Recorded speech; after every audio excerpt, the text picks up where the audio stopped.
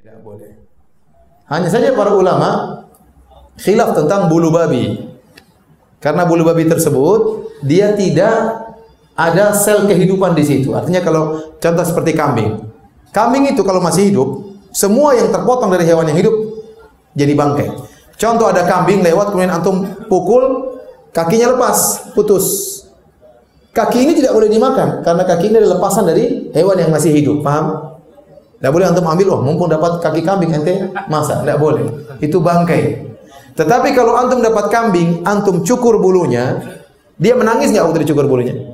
Enggak, karena tidak ada rasa sakit yang dia rasakan. Maka bulu kambing itu meskipun diambil dari kambing yang masih hidup, dia tidak bangkai. Paham? Beda dengan tangan. Kalau tangan antum potong, lepas jadi apa?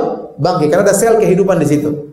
Adapun bulu kambing, kalau antum potong jadikan wall, dan memang sering dipotong, tumbuh lagi, potong lagi, itu tidak najis karena tidak ada kehidupan di situ setelah dipotong, sehingga tidak merasa sakit sama sekali.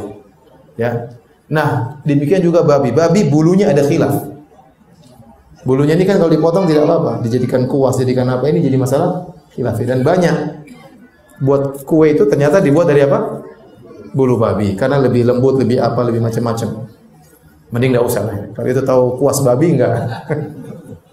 buat ngecat tembok aja. Kalau buat buat makanan, aduh bahaya ya. Tapi kalau kulitnya maka tidak boleh. Meskipun sudah disamat, sudah dikeringkan, dijadikan uh, sepatu tetap saja najis.